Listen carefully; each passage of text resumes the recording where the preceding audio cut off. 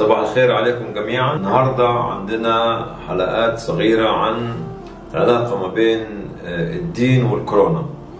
وحبدأ الموضوع هنا من الحمام. وكيف علمنا الرسول إننا نكون نضاف حينما ندخل الحمام منذ أن نستعمل يدنا اليسرى في التبول والتغوط إحنا دايما بنستعمل في الحمام المية. زي ما إحنا شايفين كده اهو.